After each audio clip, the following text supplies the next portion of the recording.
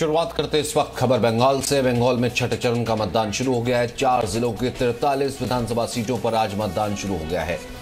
छठे चरण में एक करोड़ से ज़्यादा मतदाता मतदान करेंगे। छठे चरण में 306 उम्मीदवारों की किस्मत का फैसला होना है। 306 उम्मीदवारों के लिए मतदान किया जा रहा है। छठे चरण का मतदान शुरू हो चुका है। पाँच चरणों का मतदान खत्म हो चुका है। चार जिलों के तिरतालीस सीटों के लिए मतदान शुरू हुआ है।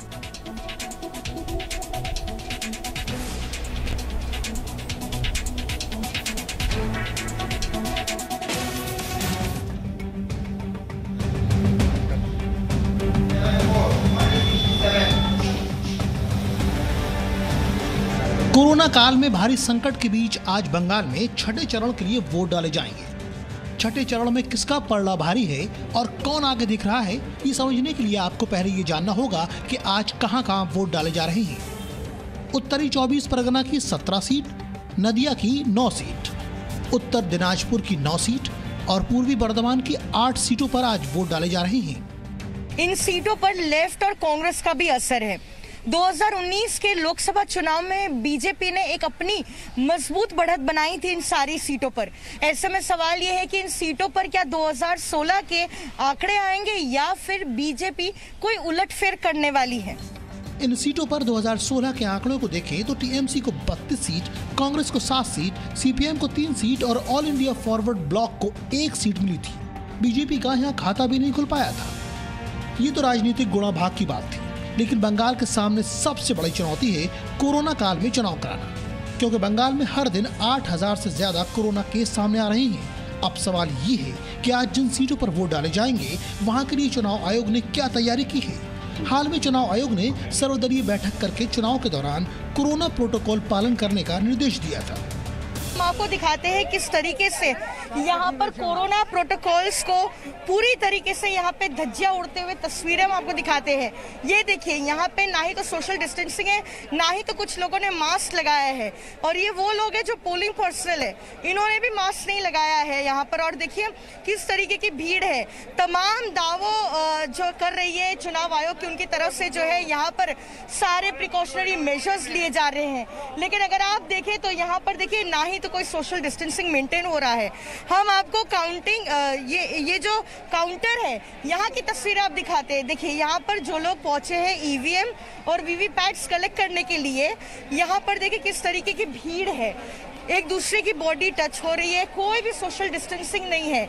लेकिन लगातार चुनाव आयोग की ओर से कहा जा रहा है कि उन्होंने जितने भी पोलिंग पर्सनल हैं, उनको कहा है सोशल डिस्टेंसिंग नॉर्म्स का पालन करें मास्क लगाने के लिए। देखिए किस तरीके से मास्क लगाए जहाँ पर कवर भी नहीं है। तो कुल मिलाकर यहाँ पर जो कोविड प्रोटोकॉल से उनकी धज्जियाँ उड़ती हुई, यहाँ पर ना ही तो सोशल डिस्टेंसिंग नॉर्म्स का पालन किया जा रहा है। बहुतों ने यहाँ पर मास्क भी नहीं लगाए हैं। और इस बीच छठे चरण का मतदान मतदान होगा पश्चिम बंगाल में, जहाँ पर कोरोना वायरस के संक्रमण के आंकड़े जो है, वो लगातार बढ़ते चले जा रहे हैं। बैरकपुर से कैमरा पर्सन फिलिक्स के साथ पूजा मेहता, जी मीडिया। पूजा मेहता इस वक्त हमारे साथ बैरकपुर से मौजूद हैं, जिनकी रिपोर्ट आप देख रहे थे। रवि त्रिपाठी भी इस वक्त हमारे साथ दिनाजपुर से मौजूद हैं। सबसे पहले पूजा में अगर आपका रुख करूँ, आपने पिछली बार का 2016 का पूरा समीकरण बताया, टीएमसी को बढ़त थी, लेकिन इस बार बीजेपी पूरे उलटफेर के मूड से यहाँ पर उतरी है और दूसरी तरफ़ जो है कोरोना को लेकर के तमाम गाइडलाइंस और कोरोना से जूझते हुए देश के हालात के बीच में होता हुआ ये छठे चरण का चुनाव। आज क्या कुछ हाईलाइट्स हैं?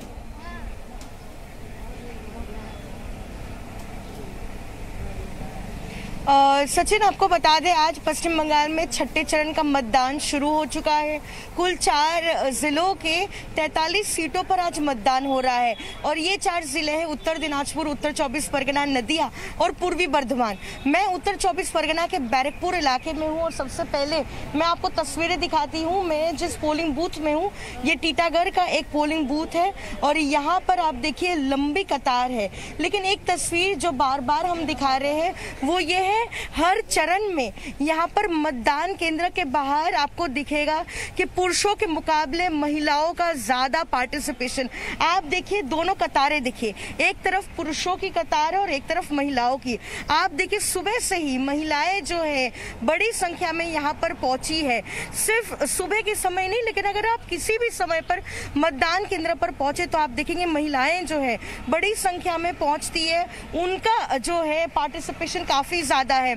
और इस बार के चुनाव में माना जा रहा है कि महिला वोट गेम चेंजर साबित हो सकता है। इसलिए कहीं ना कहीं तृणमूल कांग्रेस और बीजेपी दोनों पार्टियाँ जो है, महिला वोट को अपने पक्ष में करने की कोशिश कर रही है। लेकिन मैं जहाँ पर वो बैरकपुर, में आपको बता दूँ, एक समय पर या फिर 2016 की विधानसभा चुनाव की अगर बात करें तो ये तृणमूल कांग्रेस का गढ़ था। लेकिन 2019 में अर्जुन सिंह को जब तृणमूल कांग्रेस से टिकट नहीं दी गई, उन्होंने कैंप चेंज किया बीजेपी में शामिल हुए और बैरकपुर से सांसद चुनकर आए। उसके बाद ही उनके नेतृत्व में लगातार जो है कई ऐसे विधायक, कई ऐसे नेता तृणमूल कांग्रेस छोड़ बीजेपी में शामिल हुए। उसमें मुकुल रॉय के बेटे बीजपुर से जो विधायक थे शुभ्रांशु रॉय, जो आज भी बीजपुर सीट से चुनाव लड़ रहे हैं। उसके अलावा उनके बेटे पवन सिंह, वो भाटपाड़ा से जीते। आज भी वो चुनाव लड़ रहे हैं भाटपाड़ा सीट से। उनके नेतृत्व में पूरा जो है तृणमूल कांग्रेस का समीकरण जो है वो बदल गया। बैरकपुर सीट पे जो सात विधानसभा की सीटें हैं वहाँ पर लगातार डिफेक्शन होते रहे। और इस बार माना जा रहा है ये अब तक का जो तृणमूल कांग्रेस का गढ़ था अब उसमें सेंध लगा चुका है बीजेपी। और माना जा रहा है कि 2016 के जो आंकड़े थे वो शायद इस बार नहीं आए क्योंकि बेहद मज़बूत है अर्जुन सिंह यहाँ पर। लेकिन तृणमूल कांग्रेस भी कोई कसर नहीं छोड़ रहा है और दोनों पार्टी एक दूसरे को बहुत टक्कर दे रही है। अर्जुन सिंह सांसद हैं। बेहद मज़बूत हैं और यहाँ से एक बार पहले कहीं ना कहीं टीएमसी से किस्मत आजमा चुके हैं। तो इसलिए कुल मिलाकर के जिस तरीके से नंदीग्राम में हमने देखा कि शुभेंदु अधिकारी अपने पूरे लाभ लश्कर के साथ भारतीय जनता पार्टी का साथ दे रहे हैं और वहाँ से मुकाबला किया है, कुछ वैसा ही कहीं ना कहीं समीकरण नज़र आता है। रवि त्रिपाठी आप दिनाजपुर पर मौजूद हैं, पहले आप तस्वीर दिखा दीजिए, फिर आप बता दीजिए बिल्कुल, सबसे पहले आपको तस्वीर दिखाना चाहूँगा। सचिन, देखिए, ये लंबी लाइन देखिए, दोनों की। यहाँ आप महिलाओं की लाइन अगर देख रहे हैं उधर, लंबी लाइन तो दूसरी तरफ़ पुरुषों की लाइन भी दिखाना चाहेंगे। देखिए, यहाँ दोनों का कंपटीशन है एक तरह से कहा जाए पुरुष भी उतनी ही लंबी लाइन के साथ हैं और महिलाएँ भी। सुबह सुबह लोग, चूँकि गर्मी का दिन है, इसलिए लोग चाहते हैं सुबह सुबह आकर मतदान कर लें। फिर जाए, हालाँकि अगर कहेंगे तो डिस्टेंस भले नहीं मेंटेन कर लेकिन ज़्यादातर लोगों ने मास्क पहन रखा है। देखिए मास्क आप हटाइए मत मास्क पहनिए, क्योंकि कोरोना का दौर है।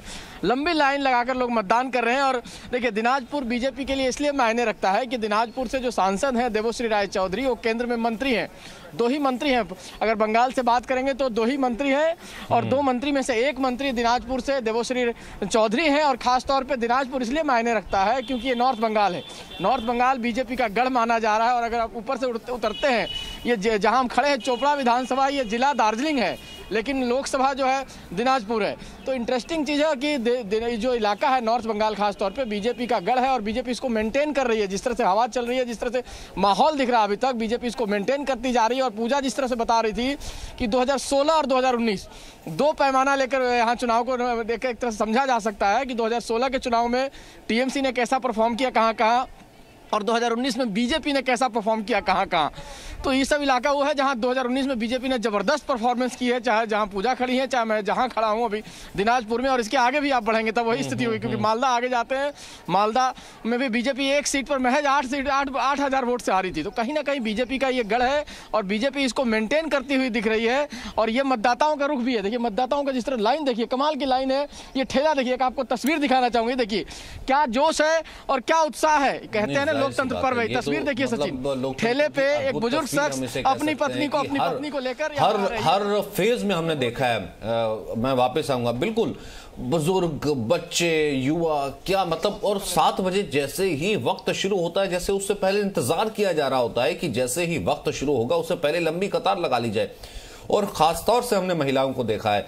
या हम पूरे अगर बात करें पश्चिम बंगाल की तो ये तस्वीर कहीं ना कहीं एक लोकतंत्र के लिए और एक स्वस्थ लोकतंत्र के लिए बहुत ही अद्भुत है, बहुत ही बेहतरीन है, बहुत ही बढ़िया है। साथ ही साथ हम एक अपील और करते चलें। देखिए, मतदान बहुत ज़रूरी है। चुनाव आयोग ने भी कहा है और वहाँ के लोग भी जानते हैं कि लोकतंत्र के लिए मतदान बहुत ज़रूरी है। वहीं इस बीच क्योंकि कोरोना काल चल रहा है कैसी मुसीबत से देश गुजर रहा है, इसलिए हमारी अपील, जी न्यूज़ की अपील ये है कि आप मतदान कीजिए, फिर उसके बाद जलपान कीजिए, लेकिन मतदान का जो प्रयोग कीजिए, वो पूरी गाइडलाइंस के साथ कीजिए, मास्क आप लगाइए एक दूसरे से सोशल डिस्टेंसिंग रखिए, दूरी का पालन कीजिए। इस वक्त ये तस्वीरें रवि त्रिपाठी दिखा रहे हैं। कोरोना गाइडलाइंस का पालन आप ज़रूर कीजिए मास्क तमाम जगहों पर लगाइए। रवि, इसका असर आपने देखा है, जिस तरीके से पाँचवें से छठे दौर तक आता हुआ चुनाव, बीच में चुनाव आयोग की बैठक, प्रधानमंत्री की रैली का वर्चुअल होना और खुद प्रधानमंत्री अब कोविड को लेकर के पूरे देश में जिस तरह की जो है मीटिंग्स कर रहे हैं, तमाम चीज़ें कर रहे हैं और इस बीच होता हुआ ये चुनाव। बिल्कुल, देखिए, लोगों में उत्साह भी है और डर भी है। क्योंकि डर इस बात को लेकर है कि बंगाल में कोरोना धीरे धीरे घुसता जा रहा है और कहा जाए तो जहाँ हम खड़े हैं, या आसपास का इलाका जो है कहीं ना कहीं ये हॉट स्पॉट बन चुका है, चाहे वो दार्जिलिंग जिला हो, चाहे फिर आपको मालदा जिला हो, ये हॉट स्पॉट है। तो लोगों में डर भी है, लेकिन मतदान करना है क्योंकि जान रहे हैं कि इसके बाद फिर पाँच साल बाद ये मौका मिलने वाला है। पॉलिटिकल पार्टीज़ भले ही थोड़ी सी गलतियाँ कर रहे हैं लोगों के साथ ये दिक्कत है कि लोगों को अगर भीड़ में आप ले जा रहे हैं ज़बरदस्ती रैलियों में चाहे रोड शो में तो कई सारी चीज़ें देखने को मिलती है कि रोड शो में मजबूरी में लोग जा रहे हैं लोगों को ज़बरदस्ती ले जाया जाता है लेकिन फिर भी लोग सावधानी यहाँ बरत नहीं रहे हैं दिक्कत हो रही है। और अभी कोशिश करनी चाहिए जिस भी पार्टी को कहा गया है कि पाँच सौ जैसे प्रधानमंत्री की कल रैली होने वाली है। प्रधानमंत्री की रैली कल मालदाबाद में है मुर्शिदाबाद में है सेवड़ी में है और साथ साथ कल दक्षिण कोलकाता में। तो ये देखना होगा कि क्या उस पैमाने को पर खरा उतरती है और रैली जिसमें 500 लोगों की भीड़ रखी गई है। हर विधानसभा में ऐसे वो लगाया जाएगा, स्क्रीन लगाए जाएँगे बड़े बड़े ममता बनर्जी का लगातार रोड शो और रैली होंगी तो ये कहने की बात खाली है या चुनाव आयोग वाकई कार्रवाई करता है? क्योंकि चुनाव आयोग ने रात में भी कल लोगों को चुनाव, जितने पॉलिटिकल पार्टीज़ है, उनको याद दिलाया है कि आपको ये याद रखना होगा कि ये कमियाँ नहीं रहे। जो भी चुनाव आयोग का गाइडलाइंस उसको फॉलो किया जाए। आज भी अमित शाह का रोड शो है, रैलियाँ हैं तो तमाम दिक्कत यह है कि जो रोड शो होता है, उसमें आप नियमों का पालन नहीं कर पाते हैं। और नहीं कर पाने से अगर किसी को बीमारी होती है, किसी को दिक्कत होती है तो इसके जिम्मेवार कौन होगा? हम्म।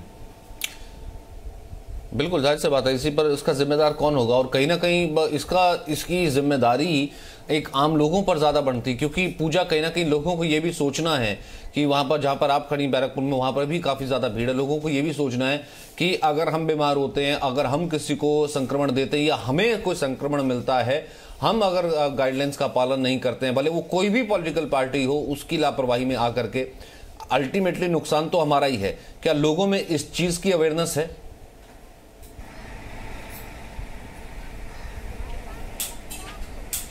बिल्कुल मैं आपको बता दूँ, हम लगातार देख रहे हैं कि जब जब जो चरण का मतदान हो रहा है, एक दिन पहले डीसीआरसी सेंटर से जहाँ पर ईवीएम और वीवीपैट्स को डिस्ट्रीब्यूट किया जाता है, तमाम जो पोल पर्सनल है, वो वहाँ पर पहुँचते हैं और अपने पोलिंग सेंटर के लिए ईवीएम और वीवीपैट लाते हैं, साथ ही जो कोविड मटीरियल है, उसको भी कलेक्ट करते हैं। वहाँ पर हम हमेशा देखते हैं कि कोविड प्रोटोकॉल्स जो है, उनका वायलेशन हो रहा है। जो पोलिंग पर्सनल है वो नहीं फॉलो कर रहे सोशल डिस्टेंसिंग नॉर्म्स चुनाव आयोग बार बार कह रहा है गाइडलाइंस इशू कर रहा है कि उनको फॉलो करना है लेकिन ग्रास रूट लेवल पर अगर हम बात करें तो ग्राउंड ज़ीरो पर हम देखते हैं कि उनका इम्प्लीमेंटेशन ठीक से नहीं हो पा रहा है. लेकिन एक जो है ज़रूर कोशिश की जा रही है कि यहाँ पर मतदान केंद्र पर जिस हम्म, तरीके से हम्म, आशा हम्म, कर्मियों को यहाँ पर जो है डिप्लॉय किया गया है उनको थर्मोमीटर के साथ जो है सैनिटाइजर और आप देखिए मास्क दिए गए हैं ग्लव्स दिए जा रहे हैं। आप देखिए इस पोलिंग सेंटर पर भी जो है यहाँ पे मास्क और ग्लव्स रखे गए हैं साथ ही सैनिटाइजर है। तो जो आशा कर्मी है वो यहाँ पर पहुँचे और आप देखिए इस मतदाताओं की जो कतार है सबने हाथ को सैनिटाइज करते हुए ग्लव्स पहन रखा है सभी ने मास्क लगाए हैं। अगर किसी ने मास्क नहीं लगाया है तो यहाँ पर जो है इसी पोलिंग स्टेशन पर मास्क दिए जा रहे हैं। और मास्क लगाने के बाद ही अंदर जाने हम्म। की अनुमति दी जाएगी। तो कोशिश ज़रूर की जा रही है चुनाव आयोग की ओर से और साथ में जो पोलिंग पर्सनल है ताकि इस मतदान प्रक्रिया के बीच में जो है कम से कम आंकड़े ना बढ़े कोरोना वायरस के।